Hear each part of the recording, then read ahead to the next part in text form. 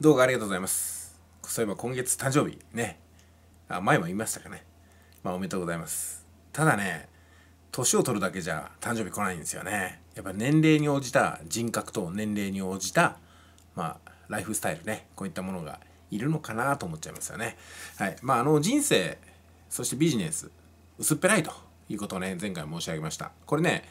薄いからこそやめるんではなくて薄いからこそ厚みを帯びるように続けていかなくちゃいけないんですよね。どんどんどんどん薄いもんでも重ねていけば厚くなってくるんですよ。だから薄い時にあ薄いんだと。じゃあ厚みをだ立てていくためにもっともっと繰り返さないとなともっともっと工夫しないとなっていう風な形でとりあえずねそこまでやったことをやめれば何にもならないんですよね。だから続けた方がいいなと思いますしね。やっぱやっていくことで見えてくるの方が多くてやめて見えてくるものってあんまりないんですよ。うん、ですんでね、まあ、今日からでもいいんでまた始めればいいんではないかなと思いますよね。で、えっと、仕事の仕方なんですけどもやっぱりね使われちゃダメなんですよ。これはねあのそんなにあの悪い意識はないんだろうけども誰かが死の木君を使う時って本当に作業員としかして使ってるわけなんですよ。だから椎名木君を儲けさせてやろうとか椎名木君に何か力をつけさせてやろうなんてそんなに思ってなくて自分のミッションのために椎名木君がいるから作業をさせてるっていう形そのぐらいに捉えた方がいいですよね。だからそうではなくて自分が作業しないとこの人は困るっていうふうに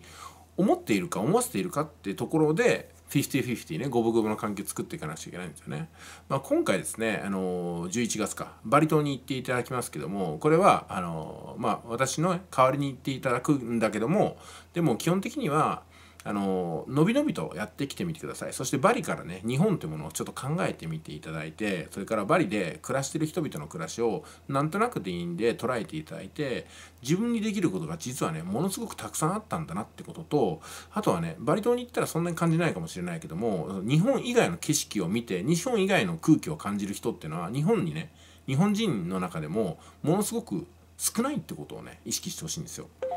パスポートを持ってる人ですらまだね2300万人ぐらいしかいないんですよね。ということは4人のうちな、えー、と4人のうち3人以上がパスポートも作らずに要するに外国に行かずに終わってしまうんですよこのグローバリズムの世の中で。ね、特に今20代とかの方はしょうがないですよまだまだお金もたまないし時間の余裕もないからいけないと思いますけども40代とか50代でねまだ外国一回も行ったことないとかこれがまさにね薄っぺらい人生が40代50代まで続いてるってことなんですよ。必ずしも外国に行って薄っぺらい人生じゃなくなるってことではないんですけどもただですねだったら国内に来てどんだけの厚みのある人生を送れてるんですかってことになってくるんですよね。これは何で厚みにこだわるかっていうとそれはですねあのビジネスをしたりとかお金を稼いでいこうという欲望があるのに薄っぺらい人だと選ばれないんですよ。で薄っぺらい時にやめないで薄っぺらいからこそやり続けてね弱いからこそ強さを求めていくと。叩きのめされても絶対にそこで、立ち上がっていくってことを繰り返していく必要があるんですよね。だから無傷で成功できないとか片手片足を失ってもねもうやめるな倒れるなっていうことをファイナルでも言いましたけどもあのもう自分の身をねもう守りすぎてるんですよ、まあ、まさに落ち込むっていうのが自分ねもう大好きでしょうがないんですよね。自己肯定感の表れなんですよ。落ち込むっていうのが。落ち込んだ時にもうこのね辛さとか情けなさとか悲しみ苦しみっていうのを抱えながらねえー、もう背負っていってほしいなと背負っていってほしいなと思います。その向こうに成功があるんですその向こうにビジネスがあるんですよ。その向こうに自分の人生があるんですよ、うん、だからこう自分がね足元ふらついてクラッときて弱い弱ったなと思った時にやっぱり進化が問われるんですよねその時に。その時に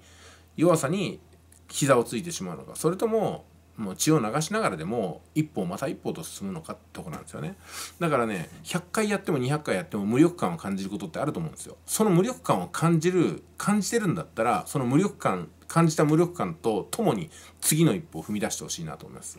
た倒れてしまったらそこで終わりですからね。うん。まあいろいろと概念的なことを申し上げましたけどもあのー、やることは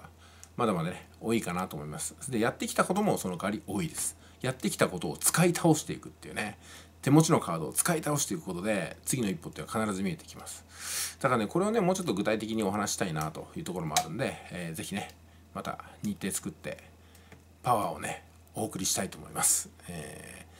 ー、そうだな、まあ、また動画送りましょうか。じゃあ一旦以上です。またメッセージください。